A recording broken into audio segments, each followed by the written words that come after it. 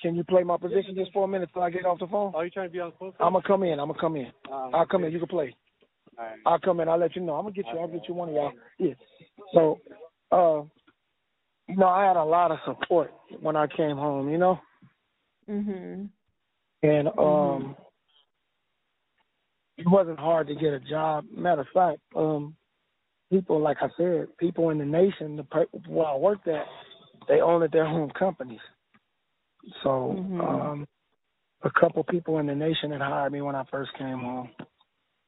So Mhm. I was working with them, you know. Right.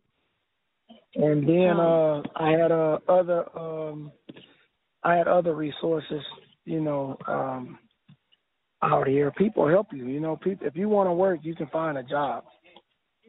You know. And so I'm never too proud to, to work. I'm a if if if if our truck broke down, I'm gonna go get a job. I don't I'm gonna do whatever it takes to survive, you know, but legally, you know. Right. Um, Yeah, and uh, we don't your- believe in- Huh? I'm I'm sorry. Continue. No, I just say we don't believe in a mystery God that we can just sit on our ass and do nothing and something gonna happen. Right. You got to work for it. Yeah. Gotta work. You gotta work. That's reality. Right. Yeah. And what what has your housing situation looked like since you were released? Like, or what does what? it look like right now? Your housing situation. Like, are you? Do you live? Um, you. I know you said you have a wife, so I'm assuming you live with your wife. Um, do you guys live in like an apartment in a in a house? Um, Okay, we have an apartment, right? Mhm. We have a really nice apartment, but we're gonna get a house in about a year because uh, both our credits are really good, so we're gonna get a house. Mhm. Yeah, that's the next um, move. Wh- What uh were you kind of move did you have to move a lot after like was housing difficult for you after being released? Like finding or Uh, staying in housing?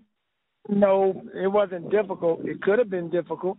It could have been difficult, but um, you know, my little cousin and stuff, like some of my family members told me I can come stay with them at first. And um I really didn't stay there, but I stayed there just to get a shower, lay down for a couple hours and I'll be back working, you know. But I'll Mhm. I would wake up around four in the morning before they would wake up because I didn't want to interfere with uh family life because they have, you know, they have family going on, you know. Right, right. Right. By the time they will Um, wake up, I'll be gone. Um so now I I know it's almost we have about like 10 more minutes for, before the 90 minutes is up. So um I just want to talk quickly about what your physical and mental health has been like since you've been um since you've been incarcerated. Do you feel like could you describe the state of your You physical talking about since health? I've been home? You talking about since I've been home? Yeah, since you've been home, yeah. Well, you know, my physical health has been good, and um, my mental my mental stability has been good.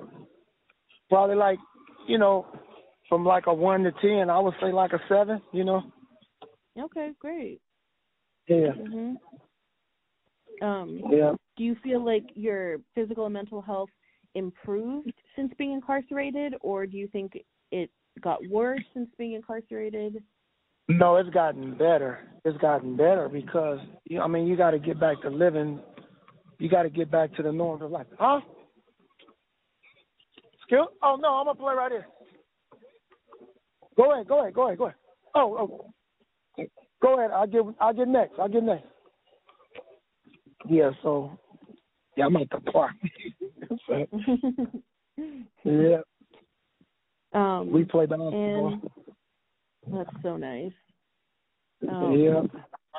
and then what was i going to ask i guess the last thing i'll ask is about your like social network so who are three people that you can count on or depend on the most you don't have to give me their names but just like Okay. what their what their Uh, relationship to you is like Yeah, it would be it would be my wife.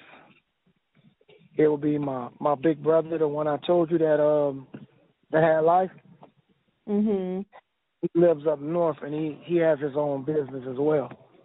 Mhm. And and uh, and it will be my friend that works at probation. Okay. Um, Yeah, and like is your a- wife a is your wife a Muslim? She's a Muslim. Yep. Mhm. Does she Absolutely. identify with the nation too? Yep, she does. Uh huh. Yep. Um, and Yep. how would you say that being incarcerated has affected your relationships with people? Oh man, uh, you uh, you talking about out here? Yeah. Out here?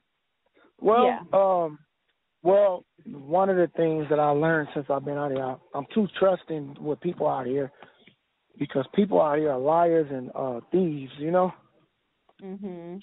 And um, I try to work with people, and I I've been robbed, not literally robbed, but taken advantage of. My, you know, Right, right, right.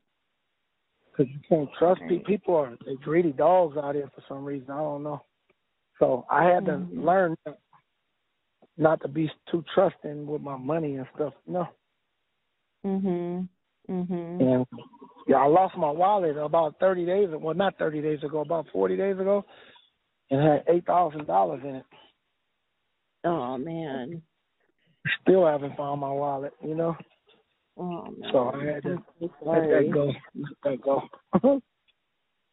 Oh. let it go. Um, You know. Well, so the last part of the interview is actually like it's more of a survey. Um, it should only really take like 15 minutes, but I know that you're at the park trying to play some ball, which I appreciate on to get one Saturday. so, do you have do you have any time like tomorrow maybe to just do like a 15 minute quick call just to ask you these questions? Yeah, you can call me. What's a good time for you? Like, it's it's um it's uh let's see, like What's a good time for you? like- Tomorrow I'm pretty free. a good time for me would be like about mm, like one o'clock. One o'clock. Let me look. Let me look. One Because- o'clock works perfect. Yeah. Yeah, because we're gonna watch the Super Bowl tomorrow. So, Oh shoot, the Super Bowl be tomorrow. I, I'm thinking Yep. tomorrow. I'm sorry. I'm thinking tomorrow is Monday. Um. Oh Monday. yeah, no, I can't. Uh, yeah, the Super Bowl's tomorrow. No. Okay, let's do. do is any what what time works for you on Monday, if anything? Um, I know Monday, you're working. Yeah. Um, Monday. Let's see. Okay, so Monday, let's do eleven thirty Monday. Eleven thirty Monday. Okay, I can do eleven thirty. It should only take fifteen minutes. It should, it's pretty quick. Um, That'll work for me. Okay, eleven thirty. Monday. Thank you. Okay. And then let me before I get you off the phone, let me just pay you um, for the interview. Um, do you have a Cash App by any chance? Yeah, I do. Okay. Um, do you prefer another way of paying, like Zelle or Venmo or anything? The only thing I have is Cash App. Uh, Okay, that work. That's perfect. I have mine open. What? Let me actually see if I can search for you. Um, Can I ask you a question? sure. Okay, so what is it that you do? Like, you know, what is it that you do for economics? Like, or is there a For like program? do you have any programs? Um, do you have any programs lined up where where we can do something together and um help people whatever? I mean, not at the moment, but that is definitely my goal. Um, so I'm hopefully, hopefully, with God's grace, will graduate in like a year, a year and a half. Um, I'll be done with my dissertation and then I'll graduate. And I mean, I was actually just talking to my brother about it yesterday and this morning. Like, I really want to get involved. So, like, ob- like what you were saying earlier really resonated with me about like everything is like an act of worship. So for me, like my research is an act of worship, Yes. Yes. and it it's like I'm very passionate about it, and but I also want to be more involved on the ground. And so I don't know what that looks like for me yet. I mean, I kind of want to go into prisons and teach, maybe offer classes, help out, like you know, I Yeah, like, because provide oh, the reason why I asked you that, right? The reason why I asked you that is because I want to be able to fulfill my purpose, you know. Mhm. and I think I think